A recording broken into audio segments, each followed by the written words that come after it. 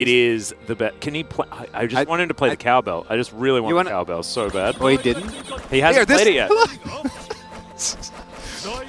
this is why top lane is the best lane, even though it doesn't matter.